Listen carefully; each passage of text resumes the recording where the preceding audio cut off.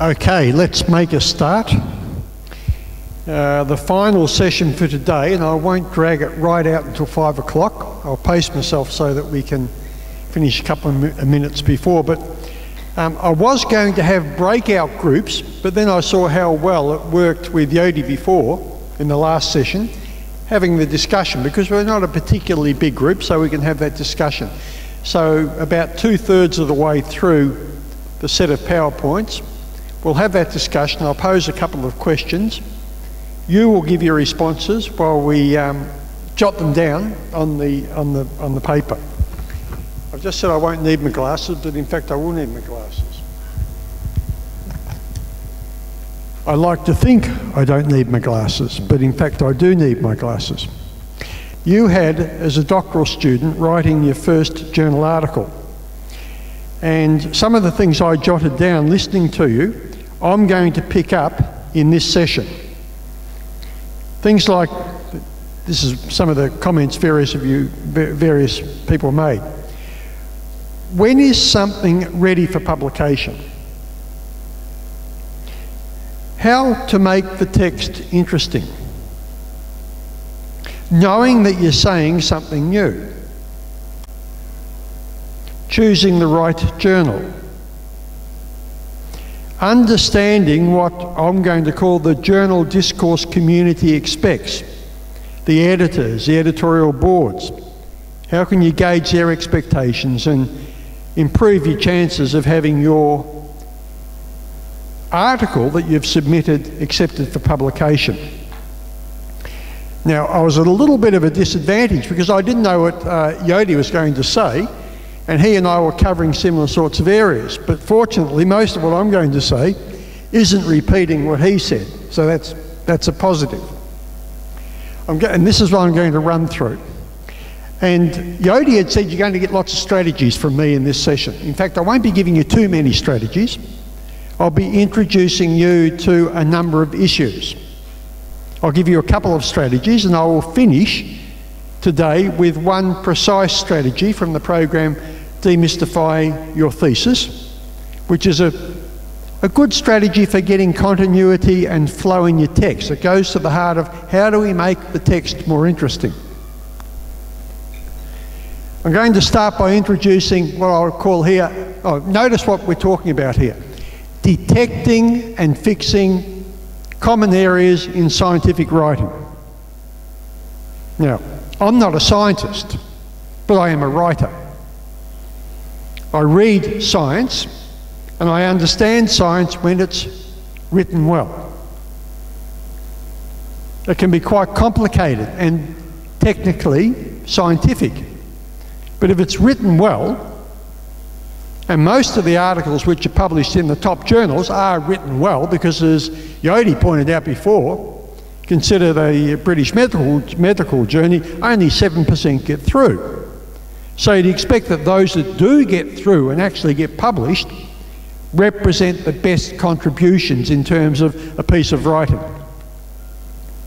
Now, I'm going to uh, add to what Yodi said there and point out that there are some journals, like Nature, the very top journals in the world, which publish articles by scientists and others who don't write particularly well. And the reason they're published is because they're heavily edited by the editors, who recognise the brilliance of the scientist and is prepared to rewrite effectively their article because the ideas are so important. But that doesn't really apply to us in this room. We have to work out ways of submitting articles which have already been written so that they are appealing to the editor, to the editorial board, then to the reviewers, and finally to the people who read the journals. So I'm going to start with one macro error. Big error for many of our students not planning for publication. I'll give a couple of suggestions here of the importance of planning for publication as part of the doctoral journey. The importance of students planning to integrate a publication schedule into their PhD thesis schedule. Then I'll cover a whole lot of little errors, micro errors. So I've got the big error, the big macro error, not planning for publication, but then I'll cover those micro areas. I'll just get this pointer going. The first error, thinking all you need is an argument. Thinking that writing is mechanical. Thinking that producing a text is easy. Not producing reader-friendly texts trying to write more than one sentence at a time. Forgetting that good writing is critical thinking. Submitting work that isn't your best. Not recognising different types of journals and journal articles. Not providing what the specific journals want not coming to terms with the journal discourse community, not treating the abstract as a tool for success or as a tool for planning the article, not creating a research space. I'll indicate when I get to that what I mean, and not occupying a research space and not making use of some useful references to assist in writing scientific articles. I brought four books that we use a lot over here, recently pub published books. I use two of them extensively, and the other two we're planning to use to develop more writing courses for our doctoral students to increase their publication rate a colleague and I will be doing that this year. And finally, I'll finish with a strategy from Demystify Your Thesis on how to link paragraphs. Only a small strategy, but it's a really important strategy for getting that continuity and flow in the text. And how many supervisors say to their students, link needed here? They'll put it in the margin because there is no link between the paragraphs. And they'll say link, question mark, link, question mark. And there are a lot of students who have not got the faintest idea of what they're required to do. And so I'm going to provide here some very concrete examples we give to students of what constitutes a link. Okay, publish or perish. When I was doing my doctorate back in the 1970s, that was the mantra. If you don't publish, you perish as an academic. I mean, you didn't perish, you could have, done, could have dug roads, I suppose. But publish or perish. We know that having a PhD is not enough. 30 years ago, it was enough. 30, 40 years ago, you got, you got a PhD and you were set up for a good academic position. But now we know that it is no longer sufficient.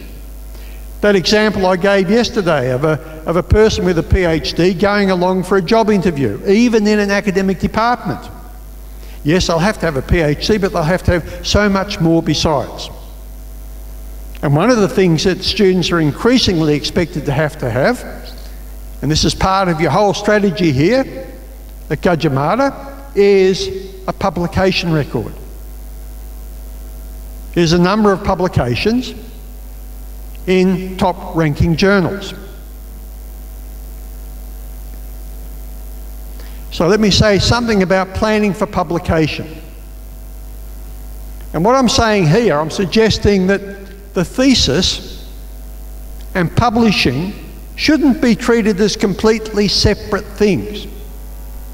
They are independent, but they're complementary processes. They go together. You can still have the traditional format of the thesis, an 80,000 word dissertation. But you can link that to a publication plan so that key components of the research that the student is undertaking are ready for external review, are ready for publication.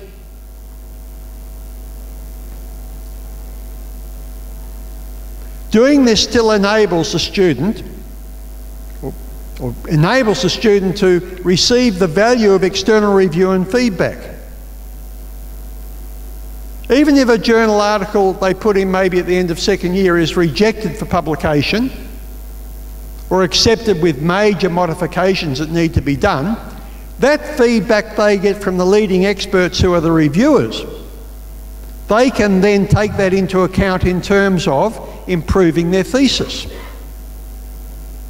Because they're getting this feedback from the sort of people who are going to be examining their thesis.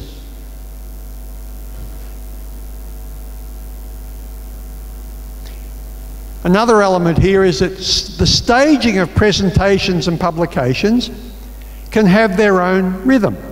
This is why it's important to be planning so that it can be spaced out over the course of candidature. Now to do this, students need to develop a publication plan. These simple elements.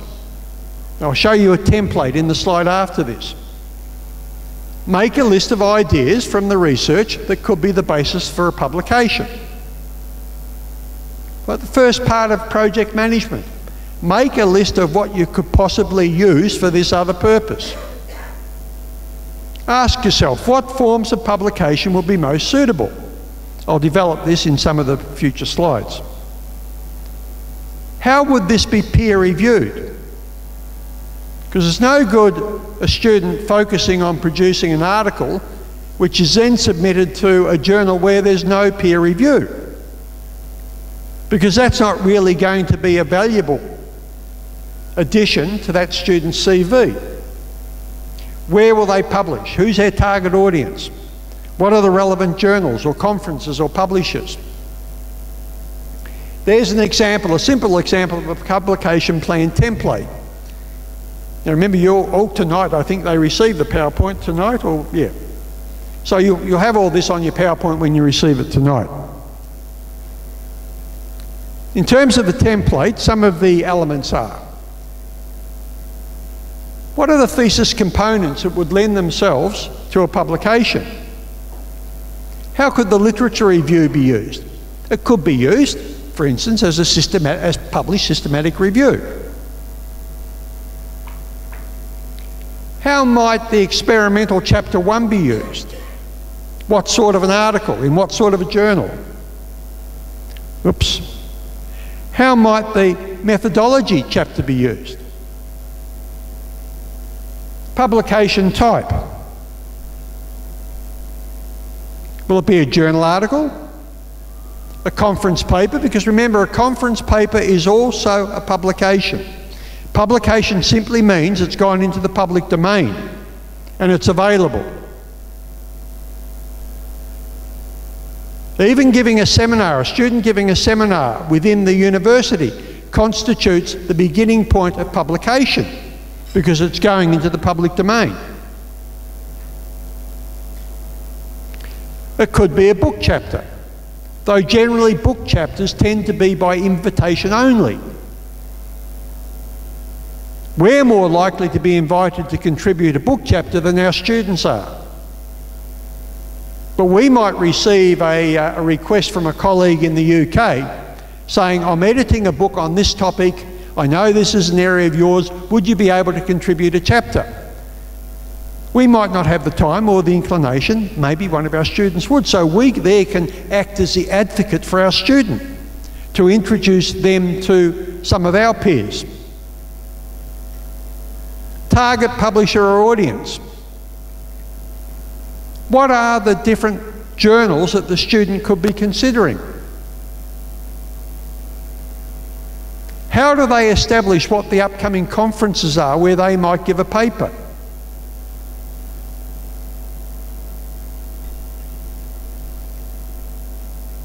Form of external peer review. The gold standard is blind peer reviewing that's going to count most in terms of their record.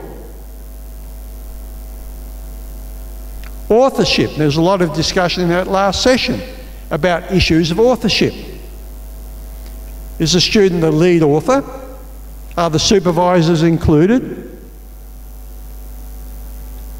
collaborators in the laboratory, are they included as co-authors? Now, I mentioned to Yodi before, and I think it's, it's it already is used here at Gadjah Mada, that we use the protocol from, or the Vancouver Protocol. If you just do a search on Vancouver Protocol, that'll tell you, in terms of that international benchmark, who is entitled to be included as an author. What's the internal review and feedback process? We can't just say to the student, target a top journal, write an article and send it in, because the chances are they'll fail. What sort of institutional help is there that we make available so that they've got a stepped process towards submitting an acceptable article? Does the first draft go to the supervisor? Is that part of the supervisor's responsibility? Now, if we are saying that all of our doctoral students have to have a publication, it seems to me that it does become part of the normal role of the supervisor. Not just to be reviewing their chapters in their thesis, but to be reviewing their drafts for publication. And of course, often it'll be one in the same thing. What opportunity do they have to rehearse their papers? Are there postgraduate seminars where they can give early drafts? Is there a mechanism for them to be able to distribute it to other students to get some peer review back on what they're planning to write? What sort of critique do they get back? Apart from the supervisor, what's the responsibility or the role of other colleagues in the department or the faculty to give feedback? And I'd say there is a role there because what we're interested in is getting a better institutional hit rate for publications.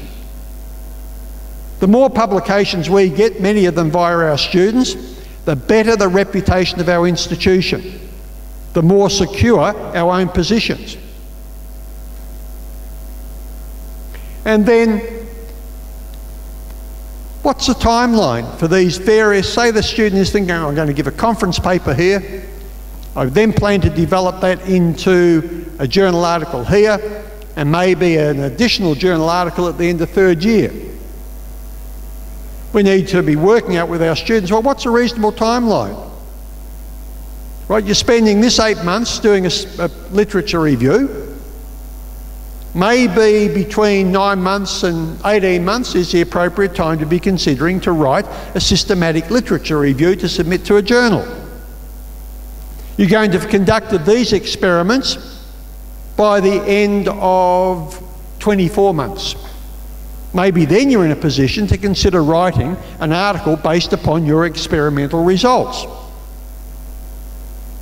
But we have to be prepared, I think, to work with the student to help them pace it out so it becomes manageable. Another error, thinking that all you need is an argument.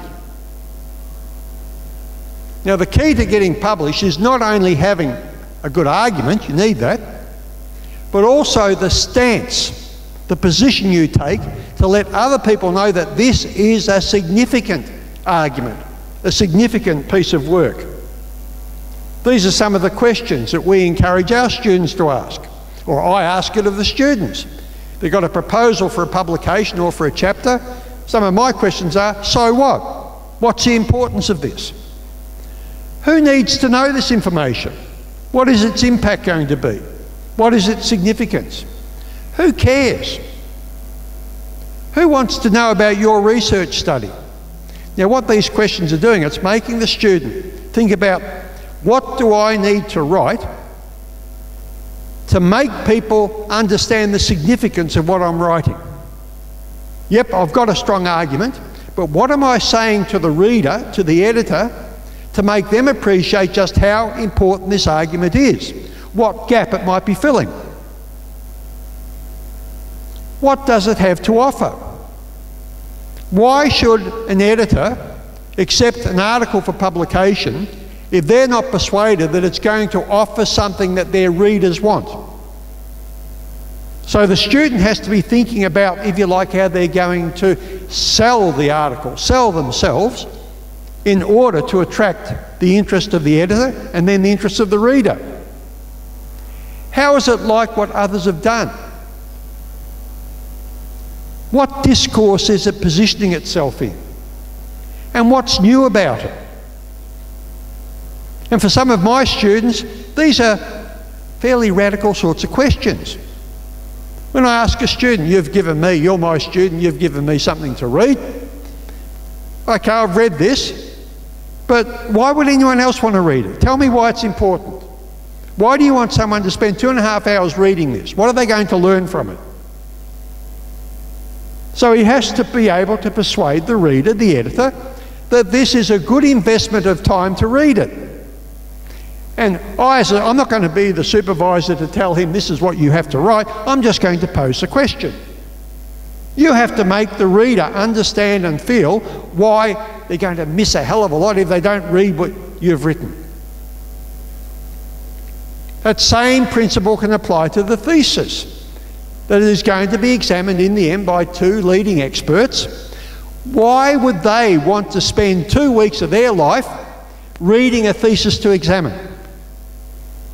So they also have to have a reason for investing that time. They have to understand, yep, this is going to give me this bit of knowledge which I don't already have. And this bit of knowledge is important. So the student has to make a case for what is important and what is significant about the knowledge that they're contributing. They can't just think that, well, I know it's important, so everyone else will know it's important. They have to make that case. That applies as much to a journal article as it does to their thesis. Where is the innovation? So I'll go back to Budi. Are you called Budi or are you called Angora? Ang- Budi, Budi.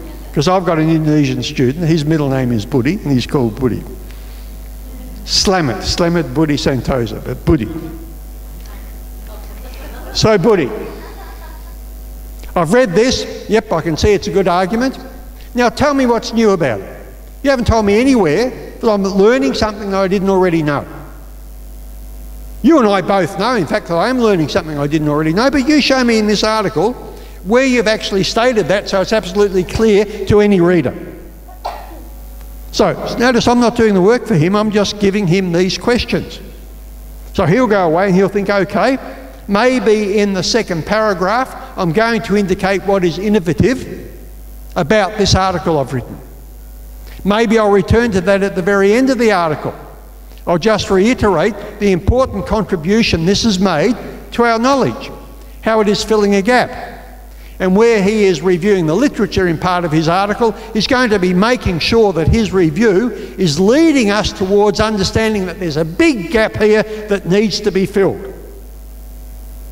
You can't just assume that we're going to be impressed because he's read all this stuff. We'll only be impressed if he can persuade us that he's going to be filling a significant gap in our knowledge. This is something that you raised in your question earlier today. And who will be interested in your work outside the local context where you work? Okay, people at Gadjah might be interested. But a journal article isn't only publishing for people at Gadjah So you have to make it clear that this is not just a very local specific sort of problem that you're addressing, but it's going to have importance for the wider academic community, the wider scientific community. And often it's only a matter of the student putting in one or two sentences to draw this out. So it's not creating a hell of a lot more work. But if there are those key sentences there where it's clear what is innovative about this contribution, what is novel, what gap it is filling, why it is a significant problem that needs to be addressed, a few of those sentences placed throughout the article will stick out for the editor. Persuade the editor, yes, this is an important piece of work. And all you've done, you've written an additional eight sentences throughout the article, that's all.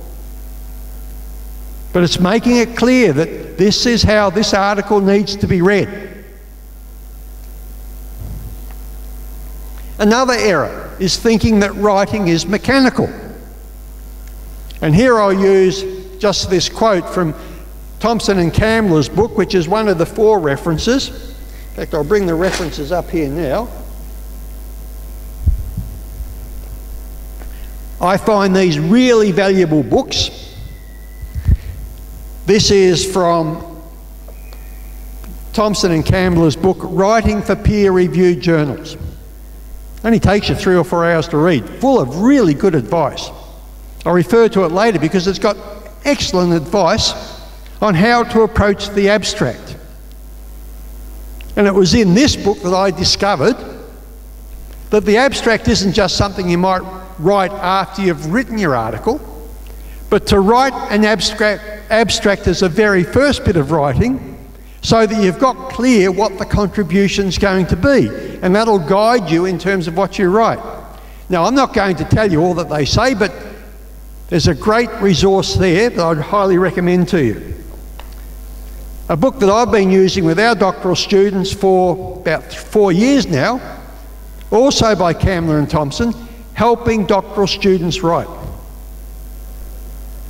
And again, it's full of really great practical advice for how we as supervisors can help our doctoral students write. Now, this is a book which has been written for supervisors. The other is a book that's been written for supervisors and students. But there are chapters in here that I still give to my students to read.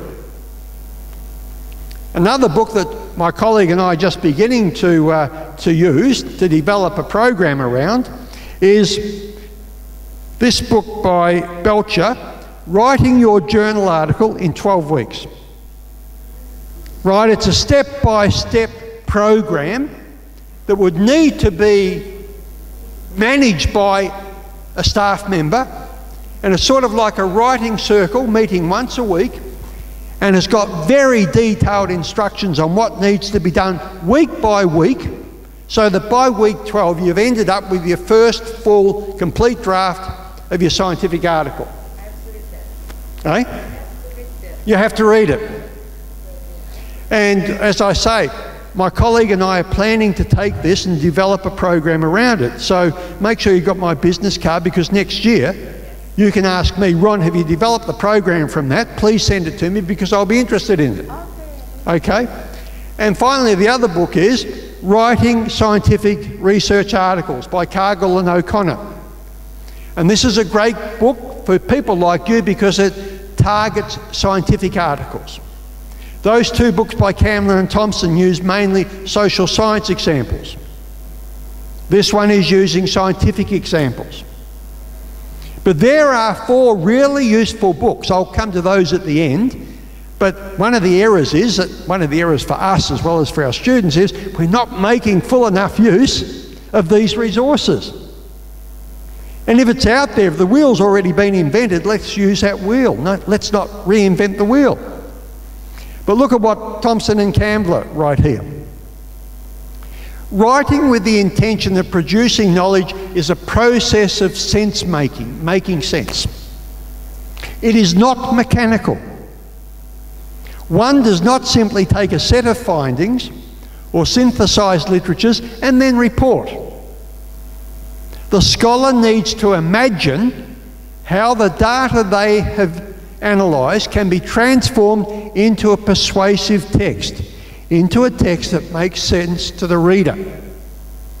They need to imagine themselves, not just as an academic colleague in a local setting, but as someone who communicates with unseen and distant peers.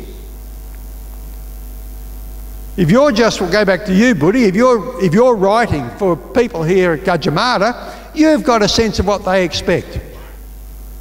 If you're writing for a journal article which is going to the UK, to America, to Australia, as well as Indonesia, you're not going to know much about those people. So, one of the things we have to say to our students is well, you have to imagine who these distant, unseen readers are that you need to appeal to. They need to see their individual work as part of a broader scholarly endeavour. Because writing an article for a journal is putting knowledge into that global sphere.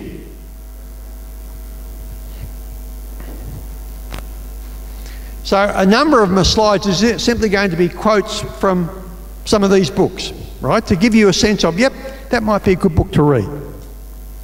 Another error is thinking that producing text is easy. This is what P. Sullivan says writing with your heads in your hand. Your heads in your hand. Head in your hands. Sounds like we've got one hand and two heads. You've got your heads in your hand. Writing is hard. If you are having trouble writing, it's probably because it is hard, not because you're unusually dense or stupid. It is hard because it's an act of translation, not simply of the world into the word, but our thoughts about the ordering of the world.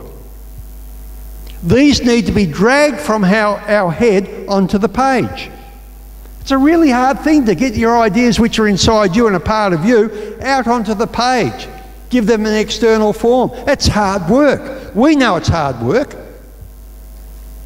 Some teachers take a pragmatic, modernist approach to research. They say, gather your data, order your data, present your data, explain your data. But the world is not like that. And nor is human thought. You cannot know what you think until you've put it into words. Writing is thinking in the same way as thrashing your arms around is swimming. One is the material expression of the other, and all of this is hard work. There's someone in this room who's learning to swim at the moment. Who's that? I had a discussion. It's you, isn't it? You're learning to swim. So you're thrashing around at the moment, and you're going to transform that into swimming. And she knows how hard that is. Right? Just thrashing your arms around is not swimming.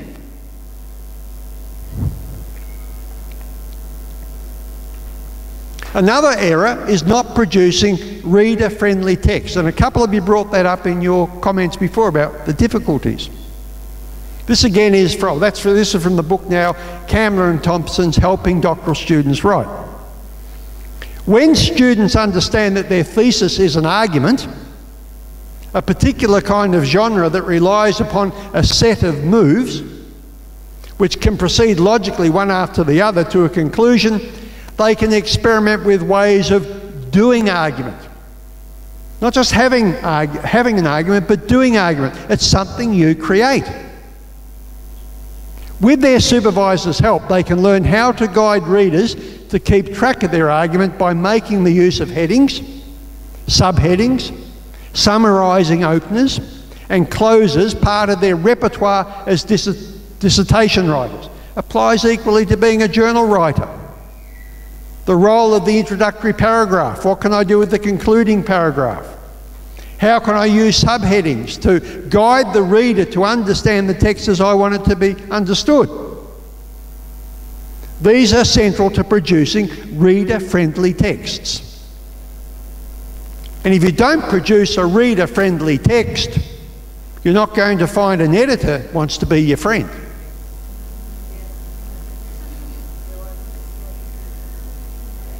Another error, and this is one that I think nearly every student I come across falls into this error, and many of my colleagues.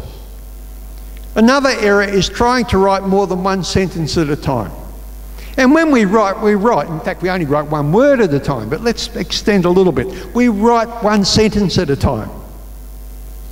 Now, here I'm quoting from uh, this book that I use in my writing retreats, uh, Mark Tredinnick's A Little Red Writing Book.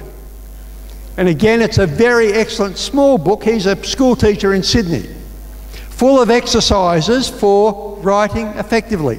And the fact that he's a school teacher, an English school teacher, maybe with 15, 16, 17 year, year olds, means it's very plain language, simple instruction.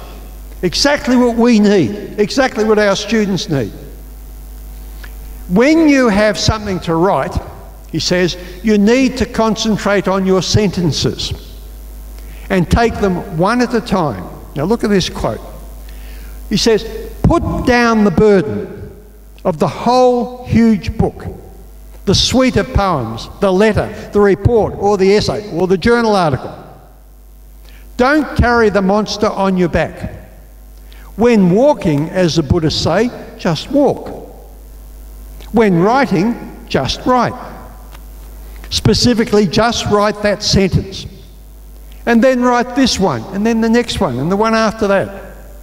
Walk it elegantly and let it suggest, let it even express everything you mean to say. In the way it tells its own short story, for every sentence is a short story.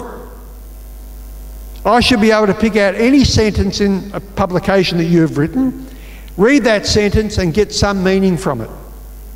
Right? It'll be linked to the other sentences, it'll be part of a longer analysis or a longer argument, but that one sentence will be telling me a bit of the story. And in itself, it'll carry its own story.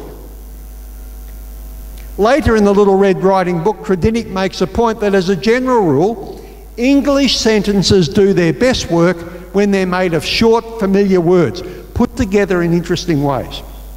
And how many of our students write sentences that you're out of breath before you get to the end of a sentence?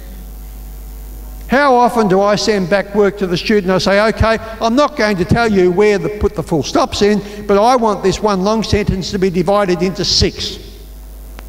Sometimes I'll get a student in my office. I'll use Budi again. I'm going to keep bullying him. He's in my office.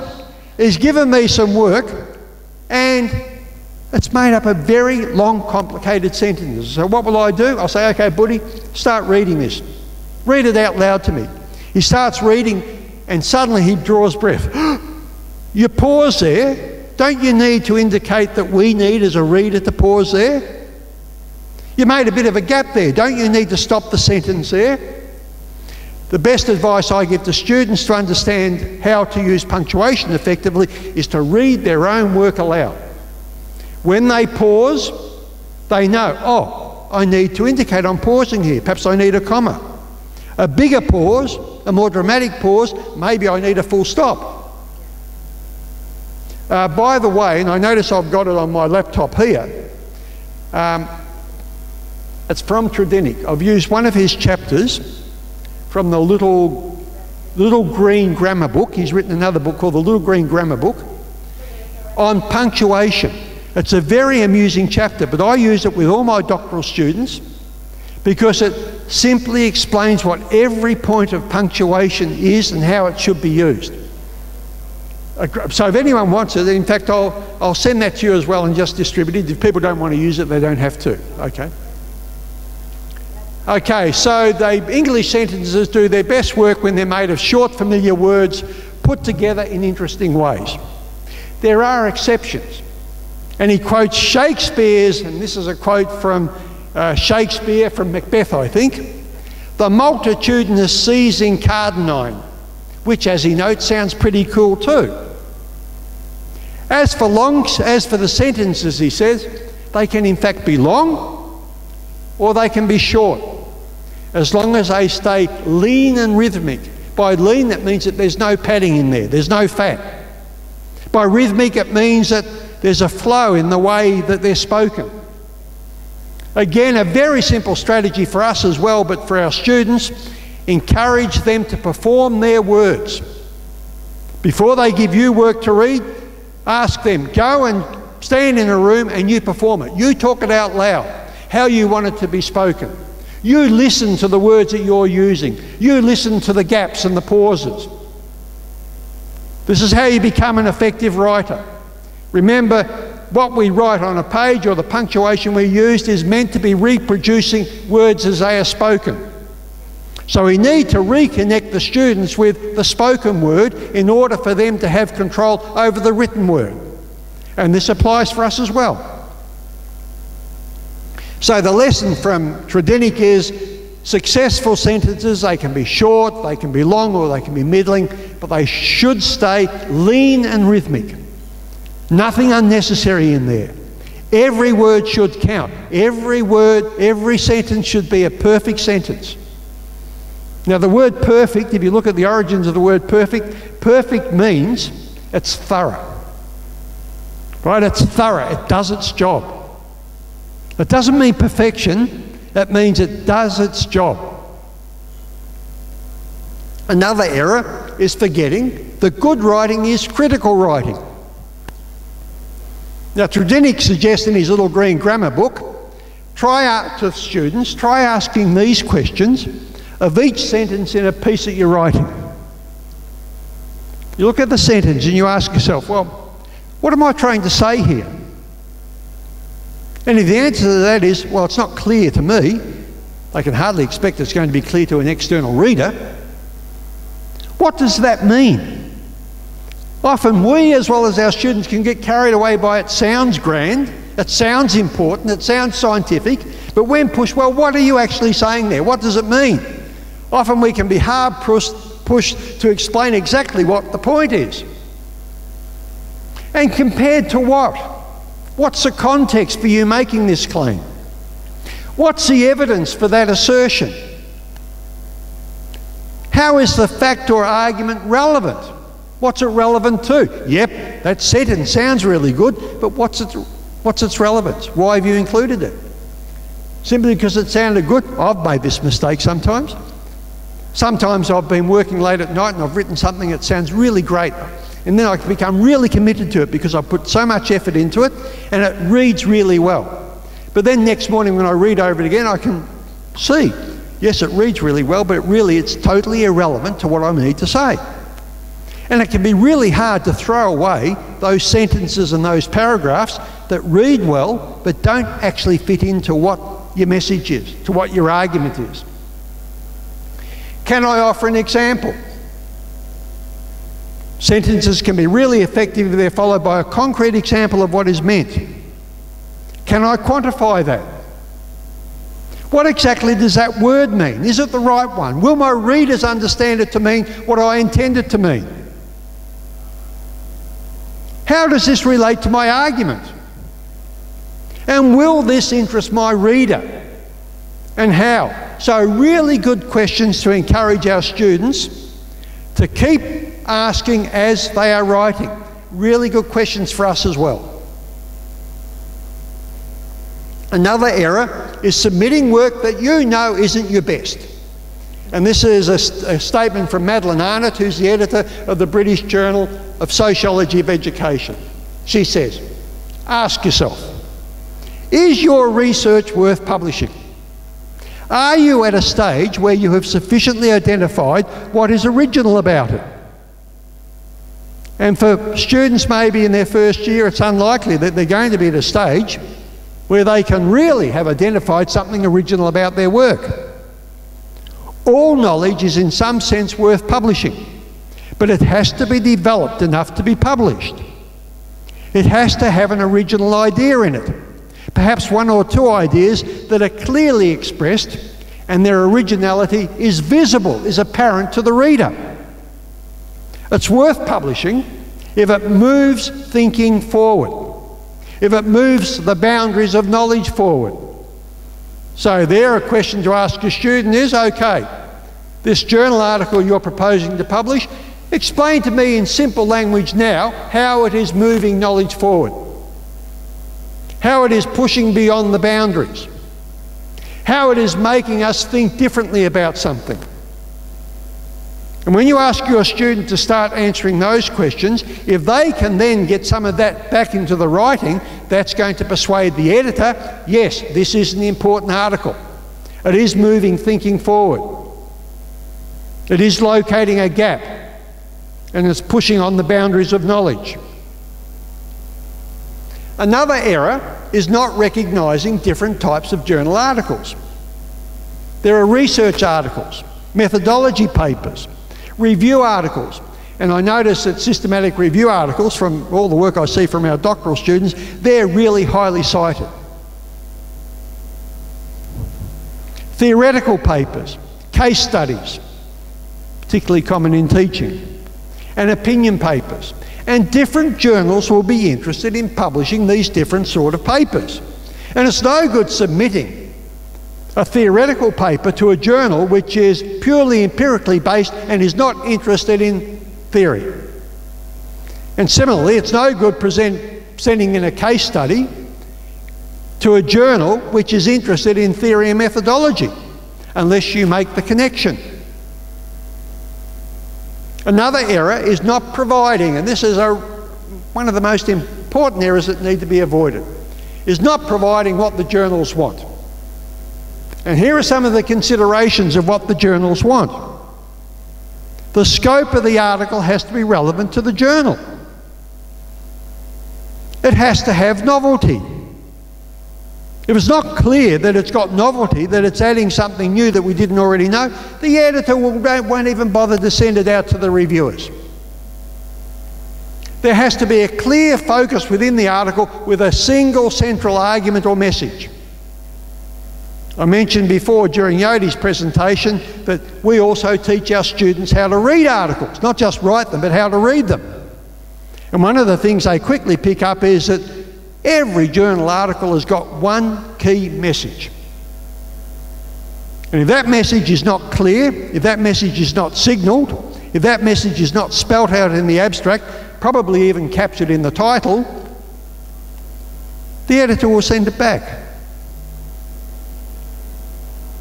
There has to be a sound methodology. Now, a sound methodology means providing justification for the methodology which is being used. And usually the justification will simply be reference to a really authoritative source which shows that this methodology leads to valid and reliable results. Links to existing theory. The impact of the work is identified. This is that so what question. So, what's the importance of this? It needs to be well structured with a logical flow. And the little sort of case I'll give you at the end about linking paragraphs will give you a, one strategy for getting that logical flow in your writing or getting the students. And it needs to be interesting and compelling writing.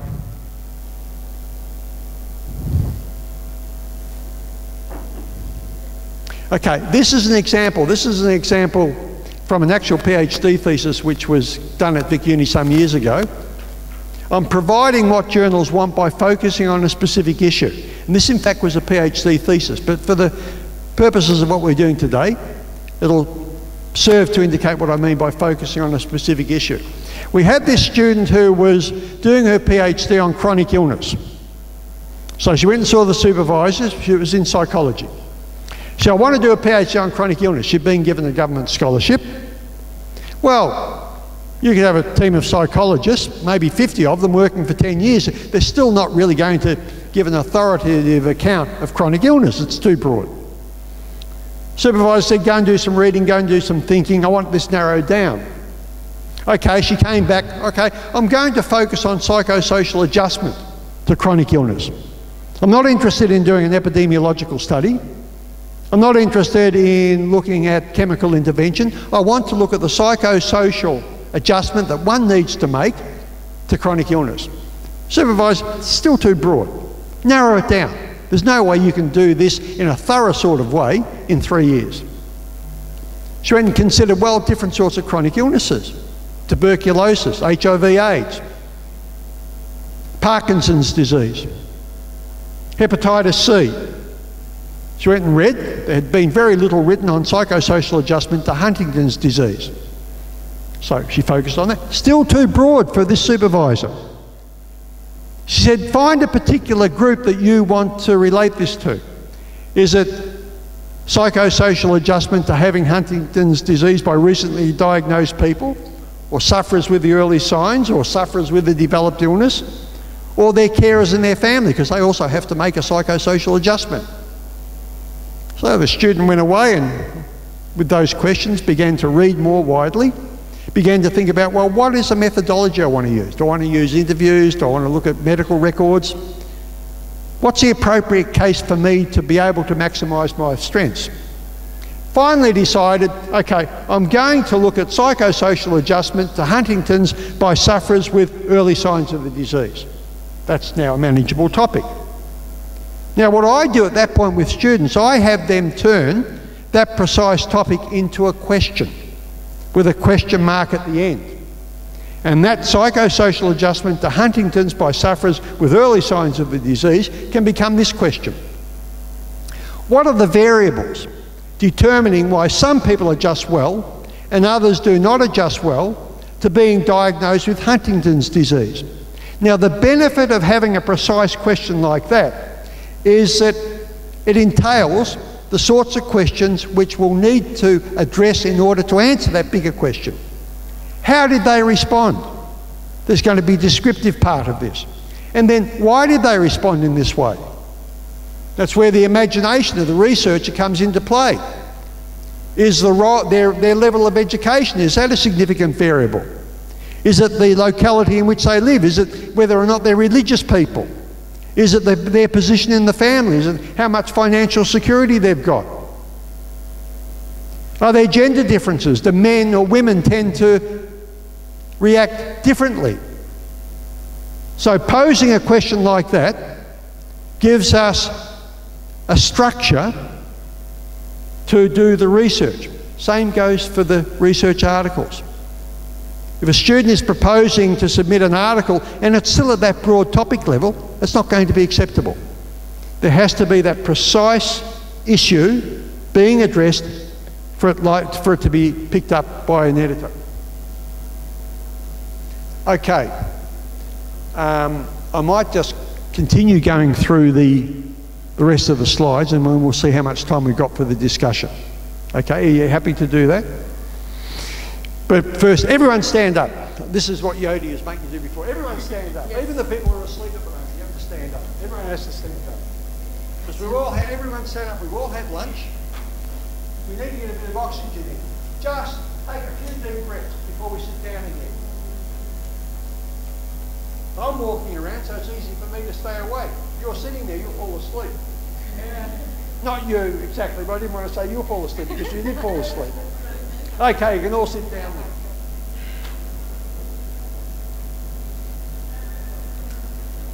Okay, you're ready to sit down now. We'll start again. Everyone ready or you need it before exercise?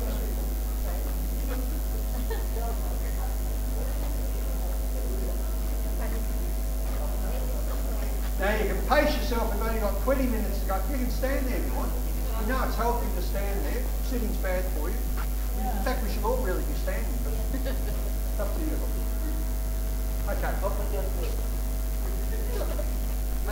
Another, error is not coming to terms with the journal discourse community.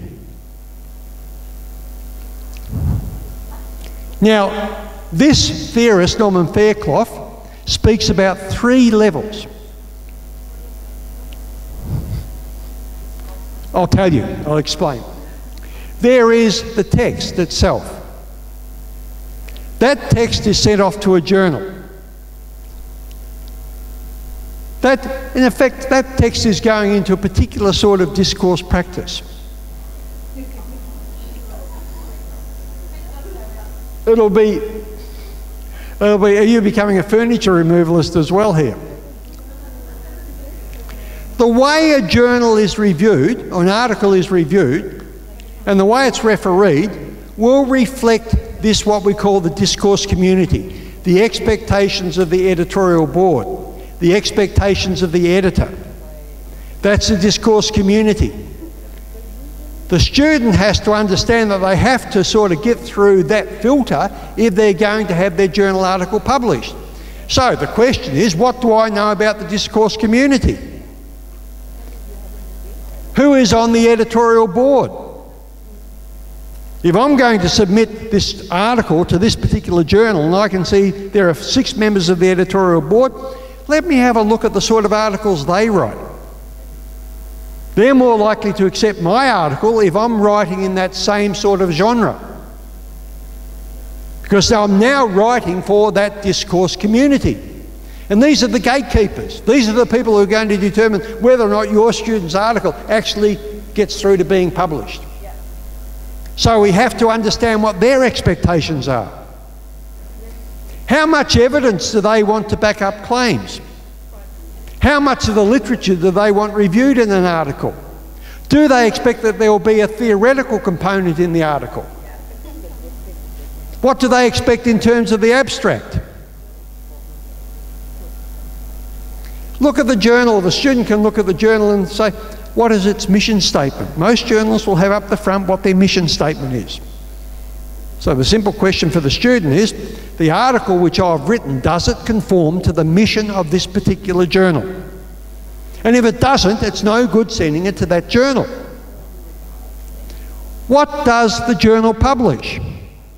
You've got a student who's written an article, you're happy with it as his, her, her supervisor, and you say, yep, this is ready now to go out to a journal to be considered.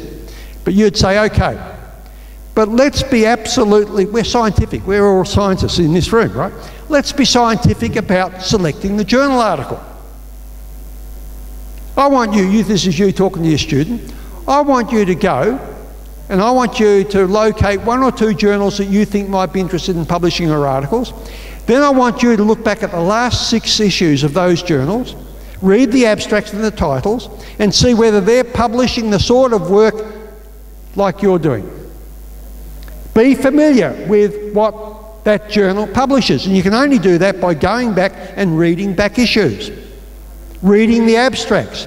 Does my article conform to the sorts of articles that this journal publishes? Now, you do that as a scientist. That's taking a scientific approach. So let's take that same scientific approach to trying to find the proper fit between the journal and the particular article that the student has written. How, do the editor, how does the editor see the purpose of the journal? What's a, uh, a journal that you publish in? Do you know? A, a recent journal that you've published in?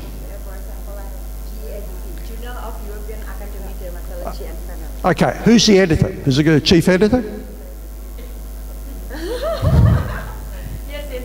Do you know who it is? Okay, well, one of them, one editor. Make up a name if you don't know it. Just. Yeah, of course, you're on the spot. If you look up, uh, okay, you look, you've got the name now the editor. Do a Google search. You, okay, now you do a Google search on that name, you'll probably find that there are Facebook sites and websites in which that person is talking about their view of knowledge. So, if you're being scientific, here's another bit of evidence of what the editors are looking for. There's probably, there's probably a, uh, a YouTube a YouTube in which this editor will be talking to the camera saying, This is what my journal looks for. And that way you'll see what the editor sees as the purpose of the journal. It's all really, it's common sense. What I'm saying to you is just common sense. It's scientific in terms of it's systematic and it's common sense. Another error is not treating the abstract as a tool for success. Now, according to that book by, uh, by Belcher, the other one, the writing something in 12 weeks, writing an article in 12 weeks, if you get hold of that book, you'll see there's a whole chapter there. You know now? Okay, very good. There's a whole chapter in that book by Belcher where he talks about the purpose of abstracts in scientific articles. And he talks about abstracts are included in articles because the abstract solves problems, it connects with the editors. It's a way of getting found. Editors ask for abstracts because they know that most readers won't have the time to read the whole article. Right? But they want to be able to use the abstract, if you like, as an advertising tool because it's easy enough to do an electronic search for the abstracts. The abstract, according to Thomson and Kamler, as well as sort of being a summary of what the article says, what they argue in, in their book is that it can be used as a tool for planning the article. I won't tell you how they do it, but where is it? Have I got the book? The book is here.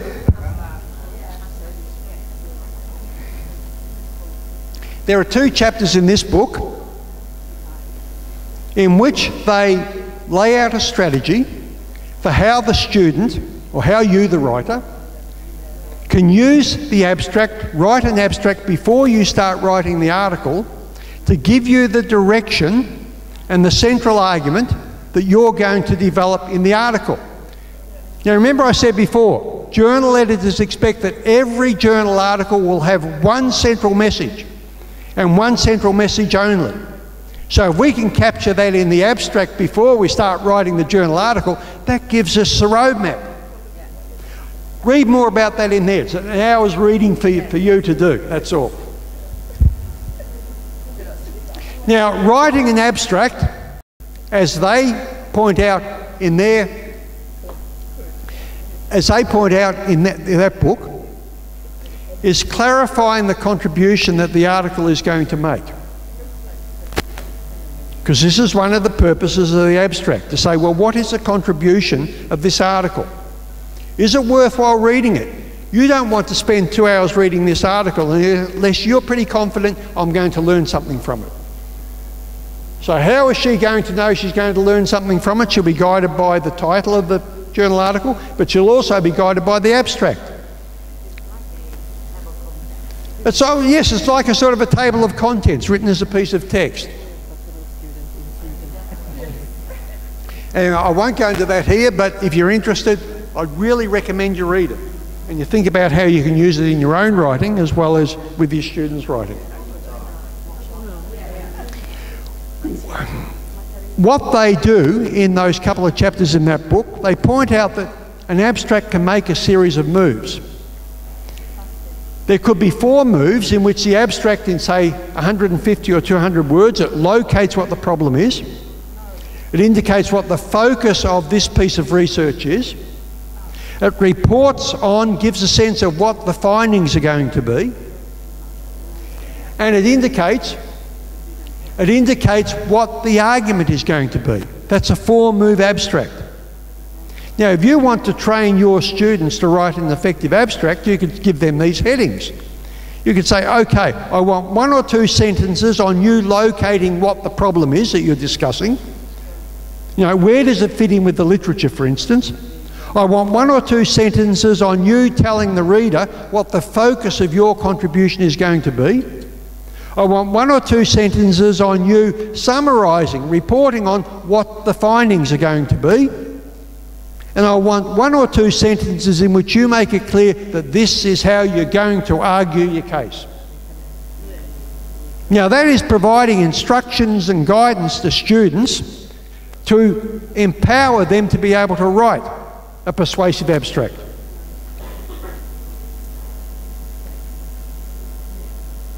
Okay, another quote from writing for peer reviewed journals. Another error that journal article writers make is not what they call creating a research space, and this is what they mean by that. Oh, we'll read this and we'll see. You can ask me the question afterwards. The locational work, where you locate your contribution, your argument, the locational work in the introduction, right, the first paragraph of the article, must first establish the warrant or the justification for the paper, whether it's policy, practice, or scholarship. Right, you're going to add to our understanding of why some diabetics behave in this way. Right? That's the warrant. That's why you're doing this. A statement which provides a rationale, a reason for a particular contribution to knowledge. Do we need this knowledge? I'll, I'll draw a picture for you. If you've got a student who wants to make a totally original novel contribution to knowledge, I'm going to give you the topic now. I'm going to draw a picture.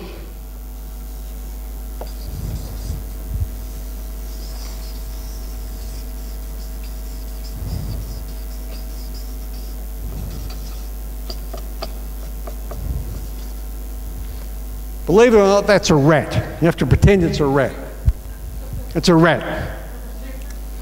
Now, if you've got a student who wants to make a totally original contribution to knowledge, I guarantee you can give them one. Do you believe that not one PhD has been written on the hairs on the tip of the rat's tail? Not one. You go and you do a comprehensive search, you won't find there's been any research done on the hairs on the tip of the rat's tail. Why not? Why not? Why hasn't this research been done? Why haven't you done this research? Why hasn't the research been done? We don't know anything about the hairs on the tip of the rat's tail. There's no point. We don't need this knowledge. Go back to the quote providing a rationale for the particular contribution to knowledge. Yes, that would be a contribution to knowledge, but do we need it? No. And a journal editor will want to be reassured that their readers will see that this is an important contribution to knowledge which is going to give them something that they don't already have. So a journal editor like an examiner probably wouldn't accept a thesis or an article talking about the hairs on the last third of a rat's tail. Except it's possible you're a scientist. Maybe there are genetic variations in the hair which would give us some insight into genetics. It's unlikely. But novelty itself is not sufficient. It has to be new knowledge which we need to know. And this is what creating a research space is. It's pointing out this is why this new knowledge is important. Second, the introduction must also explain how the paper will address the issue. So the first step is you make a case for why this is an important issue. How it's going to help, I don't know, uh, uh, find a solution to malaria, improve um, success rates with breast cancer patients. I don't know. There has to be a reason for why this is an important issue. And then the second part of the introduction is explaining how your paper, your student's paper, will address that issue and indicate what the overall argument is going to be.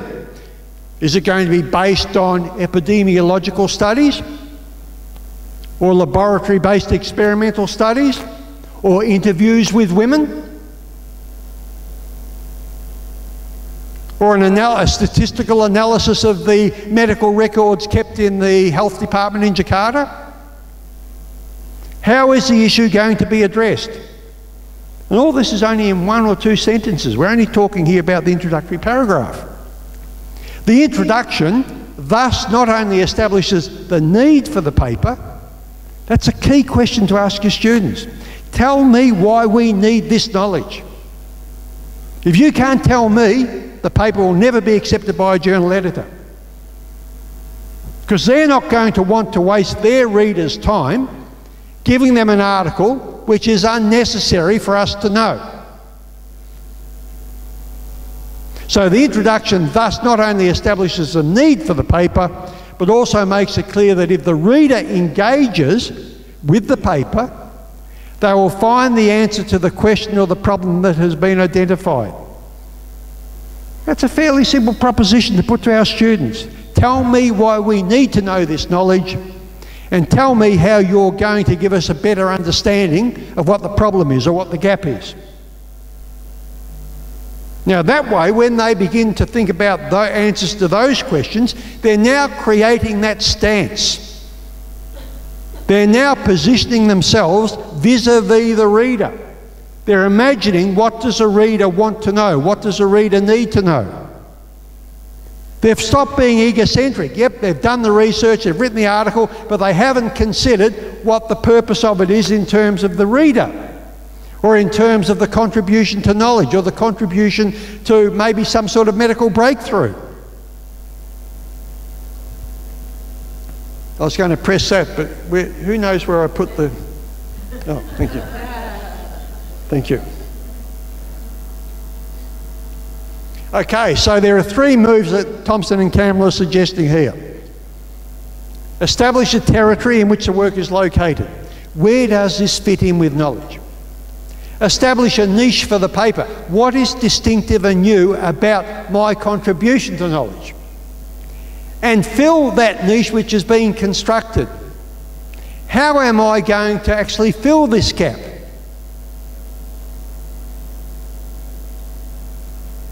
Another error is, error is not occupying that research space. They say, and remember, CARS is creating a research space. While creating a research space does critical work in helping the writer locate their contribution, defining the space and the territory it does not guarantee that the writer knows how to put themselves in that space. The introduction, the, the beginning of the article, is a significant place for identity work and hitting the contribution. Someone in their answers in Yodi's uh, section, someone over here, was talking about the identity changes or the identity formation which occurs when we write. Here, the writer needs to establish their identity as a researcher as well as their place in the scholarly conversation. So, for instance, just think about it. If they give the impression in that first paragraph that they've just they had a dream last night, and this is why they're writing this, that really isn't establishing the appropriate identity as a researcher. So it might be in that first paragraph they're going to hint that the sort of contribution to knowledge that this article is going to make comes out of six months of systematic experiments in the laboratory. That's establishing their authority to be able to speak about this. And that will be teased out when they get to the methodology section.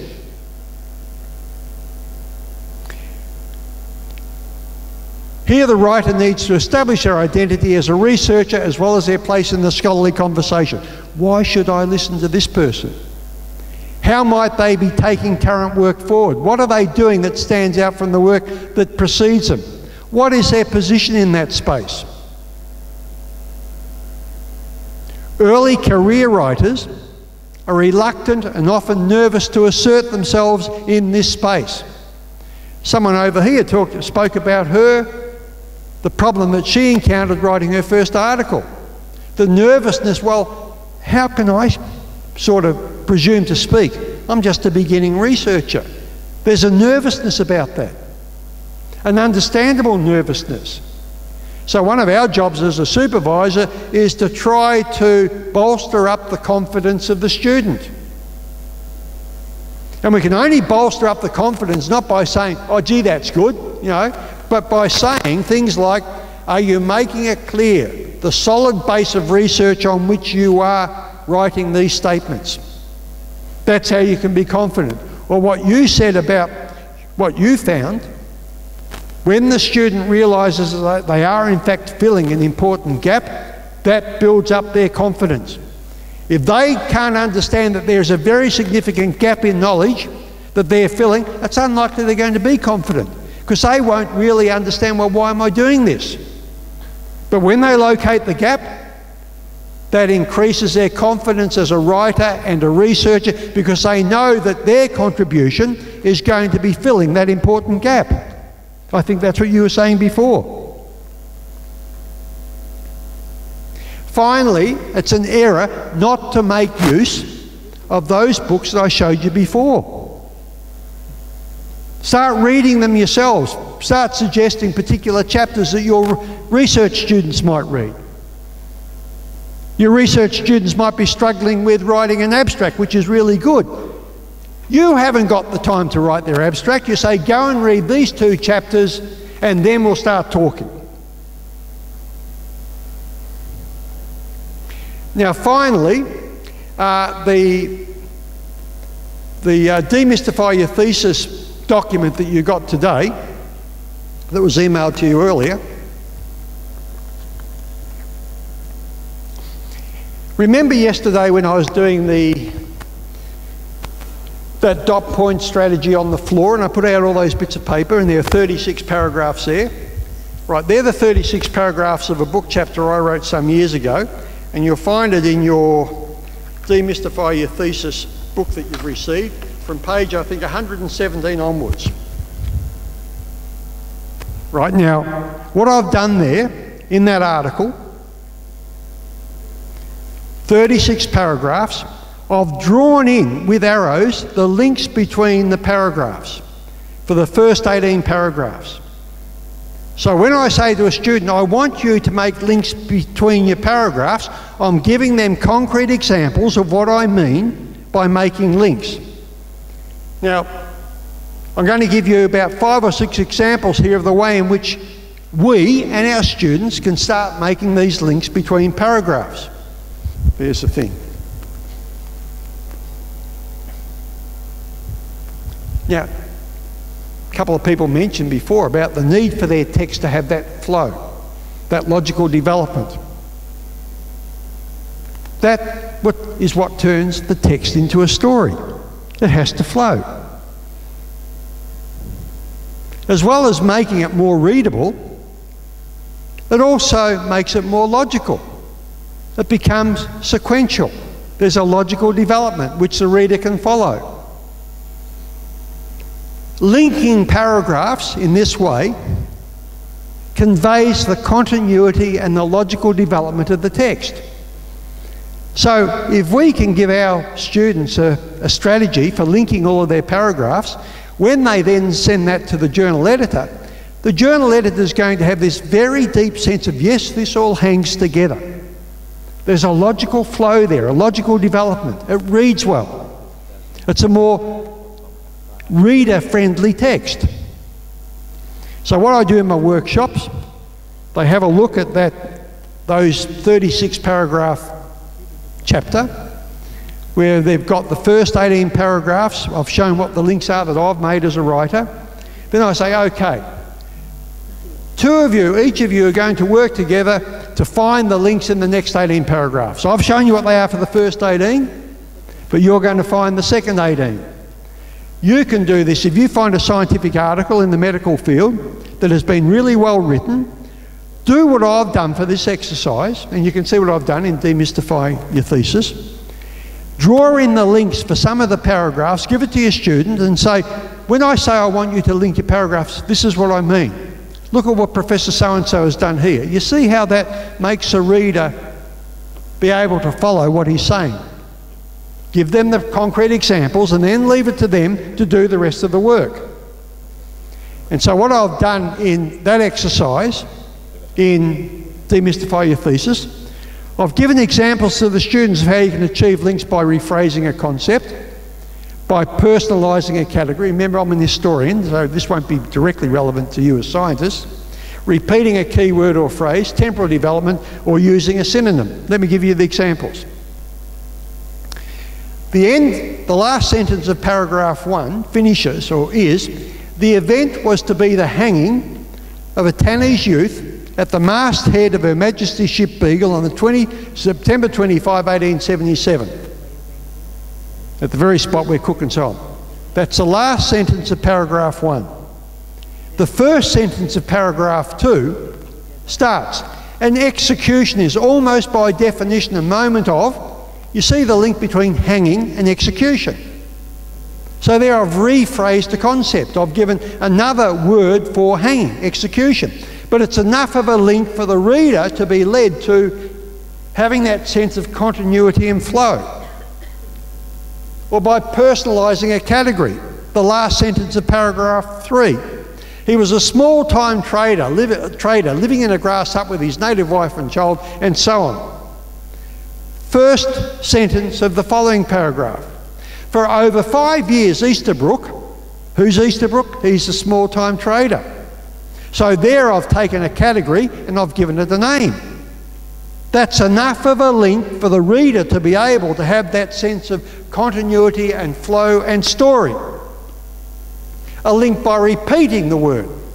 The last sentence of paragraph 4 reads At the end of four days, Nakapok engaged the kinsman, Yamunga, to kill the trader. The beginning of the next paragraph. Yamunga, having worked in as an indentured labourer, so there I've simply repeated the word so that the reader is led to exactly where I want them to go. They're following the story. Or we can have a link by temporal development. Very short sentence at the end of paragraph 6. He died about 10:30 that same night. Beginning of the next paragraph. The next morning, Nielsen and another missionary, you say, same night, next morning. Imagine you've been working in the laboratory. You've been working in the laboratory. And I left the, what, do, what are those glasses where they grow growths and things in? Yeah, pet, Petri dish. You've left a Petri dish, as did what the person who discovered penicillin. They left the Petri dish out there one night. They came back in the morning and there's penicillin or something growing in it. Imagine his paragraph. He's trying, he's writing an article about this now. I went home that night having left the Petri dish uncovered on the bench top in the laboratory. Next paragraph. When I came in next morning, I discovered to my surprise that there was this penicillin or something growing in it. Right, so it's not beyond the realms of possibility that you, as scientists, in fact, could be using temporal development. Or who's in community health? Some of you are working in community health areas. You might be working with a community group. These are the strategies that we gave to these people in the village to try to stop them smoking. And your next paragraph might be three months later, when we returned to the village, we left it at this time, three months later, when we returned to the village, there's another sense of continuity, of development, of temporal linking. Or we might make the links by using a synonym a word meaning the same thing. The last sentence of paragraph 12 is the prisoners remained locked up on board. The first sentence of the next paragraph is among the 13 remaining hostages, I could have repeated myself and said prisoners, but I wanted a bit of variety. So I've used a synonym from prisoners to hostages. Another concrete example I give to our students about what I mean when I say put a link between your paragraphs. Now, a number of you mentioned during Yodi's session about the need for you to create, or your students to create, reader friendly texts. An important part of having a reader friendly text is having that sense of continuity and flow. We know that from our own reading. We're more likely to enjoy and to persevere with a text where there is that sense of continuity and flow. Because we're being told a story. Now, in Demystify Your Thesis, the 160 pages that you all received this morning, you'll find that there are probably 15, 20 similar strategies to use for improving writing. So I'd recommend have a look at that, glance through it, see if you can identify what the strategies are. Some of the strategies will be, for instance, um, how to write a good introductory paragraph, how to write a good concluding paragraph, how to make links between chapters. I can't even think. There, I, I, had about 10 in my head, but I can't think it's gone out of my head now. But have a look at that. You'll find there's some good, simple strategies that you can use with your students. And if it's anything like our experience back in Australia, it's not only useful for you to use with your students, it's useful for you to use for yourself as writers. Because you're also aiming to get that better hit rate with journal editors. You want your articles to be picked up as well as wanting your students' articles to be picked up and published. And that reader friendly text, that sense of sequential logical development, is key to that. Now, we didn't have the discussion. We're not having a discussion, you'll be pleased to hear. We're determined to stop at five. But the intention was to have a discussion, but we took a little vote on it. So um, so it's not that I'm just a lecturer. I, I was being sort of user friendly with this group, but we decided that we wouldn't do it that way. Um, I'll see you tomorrow. I've got uh, Artie and I giving one more uh, session tomorrow. Um, is there anyone who does not feel tired? Put up your hand if you do not feel tired. Because if anyone is not tired, we're going to keep you here and we'll give you more work to do. But for those of you who do feel tired, you're permitted to go home. See you tomorrow. Bye bye.